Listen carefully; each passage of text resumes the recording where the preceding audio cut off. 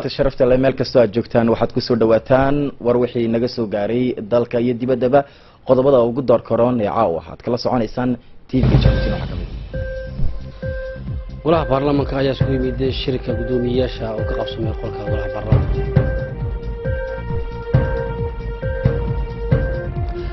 madaxweynaha mareykanka donald trump ayaa sheegay in maraykanku ka baxayo heshiiska caalamiga ah ee bari isbeddelka cimilada ku saabsan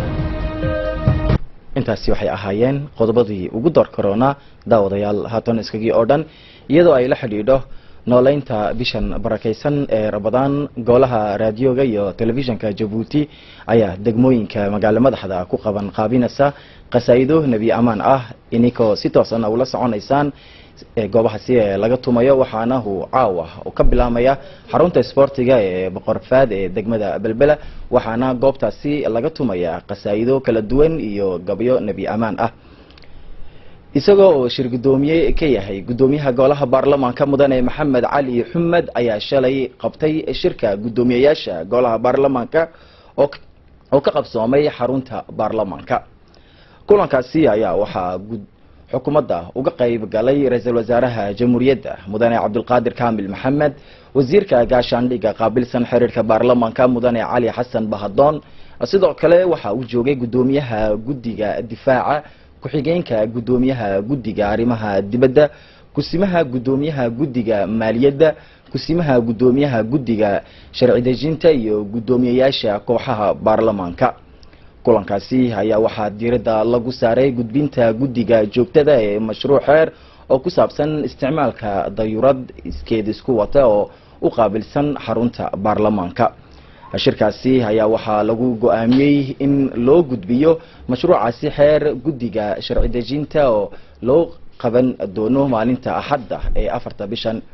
Ugu dambeyntii shirkaasi ayaa waxaa lagu go'aamiyey oo kale ansixinta heshiis amaah ah mashruuca taageero dhisid awoodda waxda caafimaad kaasi oo ay falanqeyn doonaan guddiga arrimaha dibadda wasiirka caafimaadka doctor jamac cilmi coki ayaa shalay guddoomiyey deeq iskugu jirta daweyn iyo qalabka caafimaadka iyo weliba qalabka xafiisyada lagaga shaqeeyo. Waxaana soo gaadhsiisay hay'adda moxamed bin rashiid almaktuum ee imaaraadka carabta. Waxaana deeqdaasi wasiirka gacanta kaga riday xogayaha guud ee ururka dacwat alislaam oo ah urur isagu ka howlgala jamhuuriyadda jabuuti hindisahani ayaa isagu ka turjumaya xiriirka walaaltinimo iyo midka iskaashi ee ay wadaagaan imaaraadka carabta iyo jamhuuriyadda jabuuti waxaana munaasabadaasi guddoonka deeqdaasi ay ka qabsoomtay xarunta wasaaradda caafimaadka waxaana u joogay xogay dowladeedka qaabilsan arrimaha bulshada marwe muna cusmaan aadan xogayaha guud ee ururka dacwat alislaam aadan muumin aadan iyo weliba mas'uuliyiinta sarsare ee wasaaradda caafimaadka deeqdaasi ayaa sidoo kale iskugu jirtay cunno iyo raashiin kala duwan. Geestiisa wasiirka caafimaadka ayaa waxaa xusay ahamiyadda tallaabadani ay fulisay hay'adda bin maxamed bin rashiid almaktuum qof ka kooban ayaa lagu gaadhsiinayaa deeq maanta raashina. Sida aan rabadaanka arrintaas ugu sahliso raashinka oo ka kooban daqiiq iyo bariis iyo timir iyo saliidba taa ay tahay arrin ballaaran ay galeen mas'uulada wasaaradda caafimaadka daraktarada ragga servisyada secretary general ilamaa wixii ay leeyihiin mas'uul konseeyada ilamaa inspectara dadkii mas'uul ah dadka mas'uulka ah wasaaraddan ee maxaan ku idhi siyakos hawlay sida ajur la baxaan oo la iska ururiyay halkaasi sida a loogu deeqo kuwa ka itaaliyar markaas arrintaasna waa arrin wanaagsan oo maxaan ku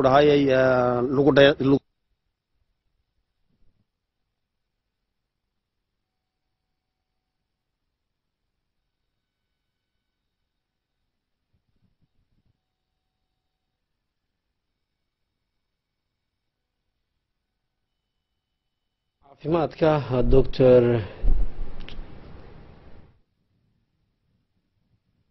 cilmi cokiya ayaa shalay guddoomiyey deeq isugu jirta dawooyin iyo qalabka caafimaadka iyo qalabka xafiisyada lagaga shaqeeyo waxaana gaadhsiisay hay'adda bin hay'adda maxamed bin rashiid almaktuub ee imaaraadka carabta. Waxaana deeqdaasi wasiirka gacanta kaga riday xogayaha guud ee ururka dacwat alislaam oo ah ururka ka howlgala jamhuuriyadda jabuuti. Hindisahani turjumaya xiriirka walaaltinimo iyo midka iskaashi ee ay wadaagaan imaaraadka carabta iyo jamhuuriyadda jabuuti waxaana munaasabadaasi guddoonka deeqdaasi ay ka qabsoontay waa xarunta wasaaradda caafimaadka waxaana deeqdaasi guddoomiya wasiirka caafimaadka doctor jaamac cilmi coki iyadoo aynu ku jirnana maalimihii ugu horeeyey ee bishan barakaysan ee rabadaan wasiirka caafimaadka doctor jaamac cilmi colkiye iyo dhammaan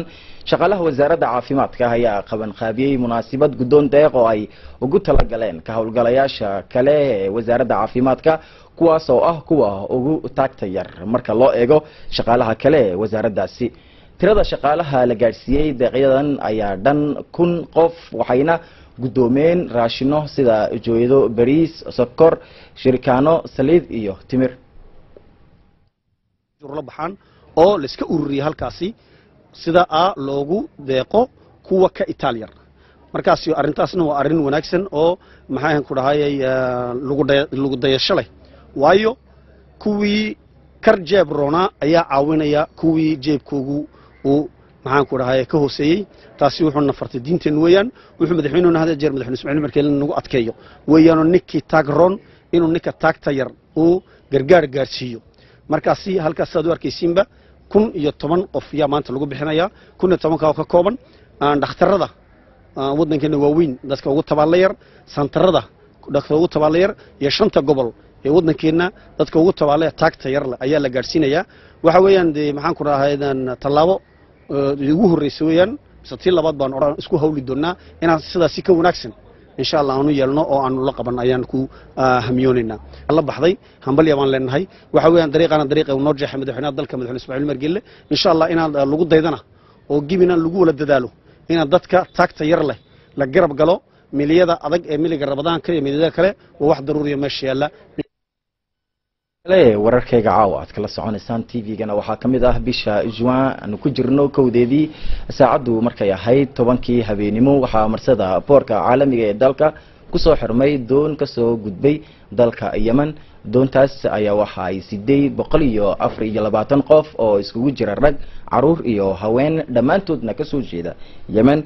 sida laga soo xigtayna hay'adda caalamiga ee caafimaadka o m s. Waxaa dalka yemen ka dilaacay xanuuno halis ah sida shubanka taas oo ay ku geeriyoodeen kumanaan shacabka ku gadoonsan colada sokeeye ee yemen. Sidaasi darteed wasaaradda caafimaadka oo tix raacisa xeerasha caafimaad caafimaadka adduunka ayaa isla korkii koox khabiiro caafimaad u dirtay boqol iyo afar iyo labaatankaasi qof ee musaafiriinta reer yemen si ay kormeer caafimaad u samayso. Ujeedada kormeerinta caafimaad ee tirada rakaabka ah ayaa ah si loo ilaaliyo caafimaadka wanaag ee bulshada jabuuti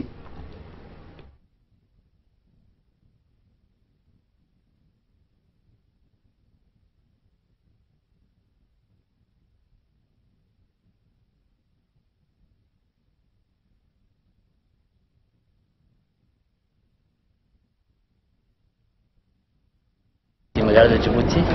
waxaan ku joognaa shaqaalihii wasaaradda caafimaadka oo ka kooban dhakhaatiir ka socota dhakhtarka bertiye dhakhaatiir ka socota dhakhtarka balbala iyo qaybtii iyo nisbeedyada ijaanka waxaan joognaa oo u nimidnay si aan hawl uga galno markab ku soo xidhay caawadan boorka jabuuti markabkaasoo ka yimid magaalada cadan oo sida dad tiradoodu ay gaadhayso boqol iyo afar labaatan qof iyo sagaal qof oo ekibaashkii ah shaqada weyneen ka qabanay meeshan waxay ahayd inaan dadka caafimaadkooga aan ogaano dhakhaatiirtii waxay eegeen wixii dad dhex joogay meesha caafimaadkooga kaadkaadyihii waxay sameeyeen wixii baadhitaan ee loo baahnaa dadkii dhakaa joogay waxaan aragnay in loo baahday inaan xaadkaan ka qaadno sindhada sindhadii waa laga qaaday tiro ilaa dhowr toban ah waa lagu baadhay isla meeshii goobtii markabka dushiisa waxaan ogaanay jawaabihii ka soo baxay inay waxba wax xanuun ayba sheegeen ay wada negatiif yihiin waxaan u tallaabsanay inaan markabkii sidiisii kale waxaan uga qabanno kooxdii arrintaa loogu talagalay waxay hagaajiyeen kaniifyadii ay ku wada bilbiriseen wixii dawo lagu nadiifinayey shaqadaasi waxay ka soo jeedaa amar aan ka hayno wasaaradda iyo madaxtooyadaba madaxweynaha jamhuuriyadda jabuuti taasoo ah in waddankiina dad kastoo soo galaya caafimaadkooga la ogaado laska ilaaliyo wixii halis la socon lahaa hawshaasina de alxamdulilah si fiican bay u dhacday Een, waxaa kaloo shaqadan qayb weyn ka qaatay qaybtii smiirta oo ambilaaskoogii iyo kooxdoodiiba ay timiday Een, hawshaasina een, waxaaba yaraato oo, een, dhibaato oo kala kulana ma jirto Een, shaqadaasina alxamdulilahi rabbilcaalamiin waxay noogu dhammaatay shaqo een, si fiican bay noogu dhammaatay dadkiina waa kaas la fasaxay ad arkaysiin usoo dhaadhacaya een, een, een, dhulkii een, basaskii la saaray iyadoo ay la xidhiidho diyaargarowga arrimaha xashka ee sanadkan wasiirka arrimaha islaamka diinta dhaqanka ee awqaafta mudane muumin xasan bare ayaa booqasho shaqo ugu baxay boqortooyada sacuudi carabiya halkaas oo uu kula kulmay wasiirka qaabilsan arrimaha xashka doctor moxamed saalax bin taahir bintin. Kulankaasi ayaa waxa uu joogay danjiraha jabuuti u fadhiya sacuudi carabiya diyadiin bamakhrama la taliyaha wasiirka shucayb adjaal agaasimaha guud ee arrimaha awqaafta cilmi nuur jaamac iyo agaasimaha arrimaha islaamka alisari cabdallah axmed waxaan hortaba wasiir muumin uga mahadceliyey dhigiisa fudaydinta arrimaha xashka sanadkan iyadoo oo la dhimay kharashaadka muddada xashka lagu guda jiro wasiirka ayaa soo dhaweeyey soo dhaweeyey dadaalka dheeraadka ah ee xukuumadda ee howlgalida iyo soo dhaweynta xashka sanad waliba iyadoo laga imanayo dhammaan daafaha dunida oo dhan iyo weliba fudaydinta xujaajta jabuuti wixii waxay intaba. Wasiirka xashka ee sacuudiga ayaa ballan qaaday in shuruudaha wasiirku ay noqon doonaan kuwo si xigmadaysan loo fulin doono islamarkaasina xujaajta reer jabuuti si hersar ah loo soo dhaweyn doono. Intii uu ku guda jiray booqashada shaqo wasiirka arrimaha islaamka dhaqanka ee awqaafta mudane muumin xasan bare ayaa isagu ay weheliyaan danjiraha jabuuti u fadhiya sacuudiga iyo mas'uuliyiin sarsare oo ka tirsan wasaaradda arrimaha xashka ee dalkaasi ay gaadheen dhismaha kiswaad ee kacbada barakeysan. Wasiirka ayaa waxaa halkaasi si diiran ugu soo dhaweeyay agaasimaha dhismaha xaruntaasi doctor moxamed bin cabdallah oo macnooyin dheeriya ka siiyey qeybaha kala duwan ee xaruntaasi oo ah warshad ka agdhow kacbada oo laga dhisay oo la dhisay sanadka markuu ahaa kun sagaal boqol shan iyo toddobaatankii. Wasiirka wafdiga jabuuti ayaa booqday qeybaha ay ka kooban tahay warshadaasi iyo shaqada cajiibka ah ee laga hirgeshay halkaas taas oo ka shaqeysa diyaarinta marada madow ee dabooleysa kacbada. Waxaana xusid mudan in howlahaasi la qabto kacbada ay tahay mid sanad waliba dib loo cusbooneysiiyo gaar ahaan bisha ayagu soo booqanayaan xujaajtu xashka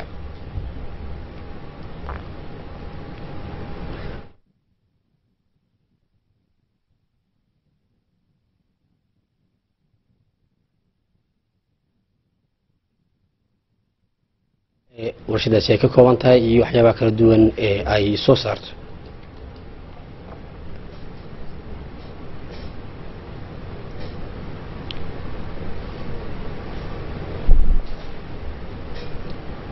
Wasiirka ballaarinta maamulka mudane xamadow maxamed caraamis ayaa shalay qabanqaabiyey afturwadareed oo uu ku qabteen hoteelka sharanton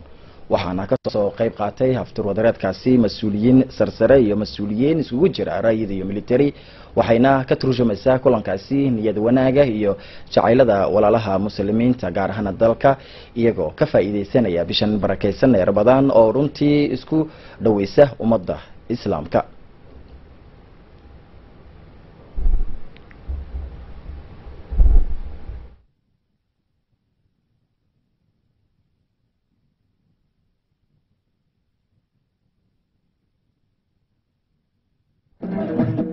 Thank you.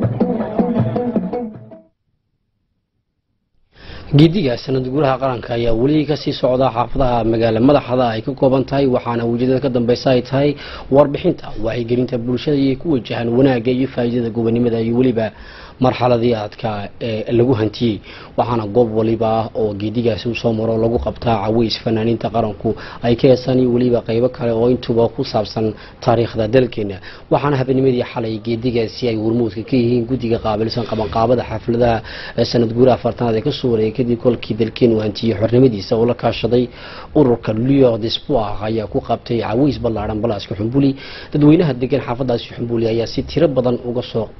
iskugu soo baxay si ay uga qayb qaataan geedigaasi ay in muddo ahba sugayeen waxaana haweyskaasi lagu furay astaanta caalanka dalkeena waxaana xigay aayadaha qur-aanka kariimka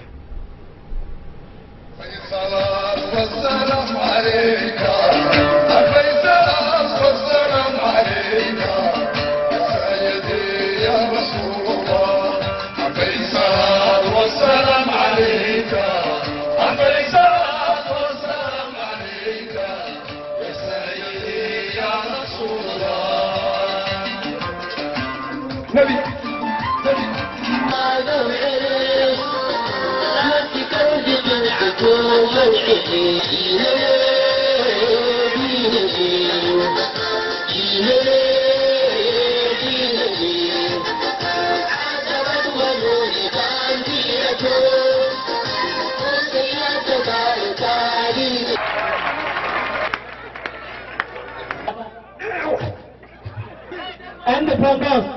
And the progress. What is it? I love you. Aanu la yeelanay qaar ka mid a xubnaha guddiga qabanqaabada xuska afarta sanad guuraha ayaa waxa ay nooga warrameen habsami qosoobidda howlahaasi waxaan idhahdeen mateliyey axmed diini aa ugu horeeyey labaduba way ka hadli doonaan arrinta waxay odhan doonaan war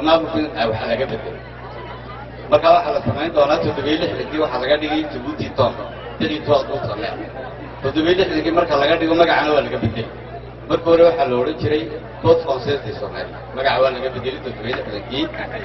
waxaa lagu bedeli defay danii tood consensi afarikiisa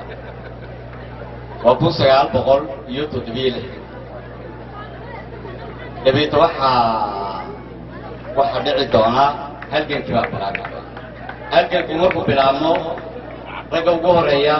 ee labadan aan joogno keenay laba nin horta ayaa aabbaa وحويان حسن فليل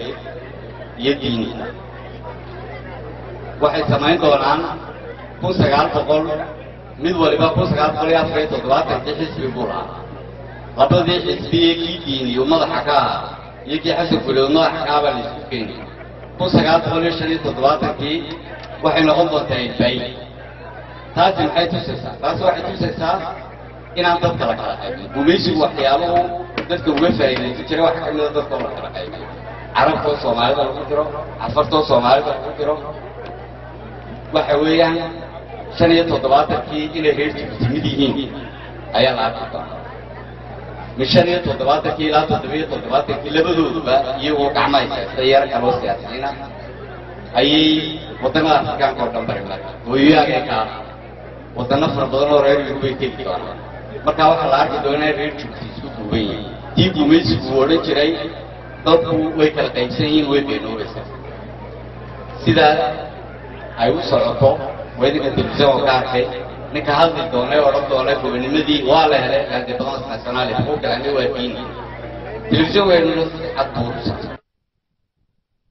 iyadoo mar waliba ciidamada brigaadka jondarmeriga ay ku howlan yihiin la dagaalanka tahriibka badeecadooyinka sharciyeysaneyn kuwa ka ganacsada aadamaha iyo waxyaabaha khatarka ku ah caafimaadka sida daawooyinka iyo maanduriyayaasha ciidamada jondarmeriga ka howlgala weeca iyo bikadus ayaa shalay gacanta ku dhigay oo joojiyey baabuur nooca xamuulka oo siday saddex jooyadood ku qarsoon waxyaabaha maanduriyayaasha waxaana qiyaas ahaan lagu sheegay in tanka jooyadahaasi ay dhannaayeen lixdan kilogram. Hase haatee waxaa isla kolkiiba gacanta lagu dhigay qofkii ka dambeeyey waxyaabahani ee daran isagoo sidoo kalena la horkeeni doono maxkamadda cadaaladda si looga maro sharciga. Ugu dambeynna ciidamada jondarmeriga ee brigaadka bikadus ayaa baafinaya baabuur cadaan ah oo nooca pick up oo firxaday kadib markii ay arkeen ciidamadu isagoo ag jooga baabuurkaasi nooca xamuulka ah wararka caalamkana qodobkan ku soo qaadanaya waxa yahay madaxweynaha maraykanka donald trump ayaa sheegay in maraykanku ka baxay uu ka baxayo heshiiskii caalamiga ahaa ee paris iyo isbedelkii cimilada ee sannadkii labadii kun iyo shan iyo tobankii ay saxeexeen dalal ku dhow laba boqol oo dal oo maraykanku hormoodu ka ahaa. Madaxweynaha maraykanka donald trump ayaa go'aanka ku dhawaaqay khamiistii shalay isagoo fulinaya mid ka mid ah ballamihii ugu waaweynaa ee uu qaaday intii uu ku jiray ololihiisa doorashada hase yeeshee halis gelinaya dadaalka caalamka ee la tacaalidda cimiladaasi sii kululaanaysa dunida. Adduunka ayaa si weyn u cambaareeyey dhawaaqa madaxweyne trump ee ku aadan in maraykanku uu ka baxayo heshiiskii la dagaalanka isbeddelka cimilada. Adduunka ee paris ee lagu gaadhay labadii kun iyo shan iyo tobankii. Qodobkaas daawadeynaya warkayga caawa ku soo afmeerna warkani kula mid ah. Intaan ku kulmi doono nabadgelyo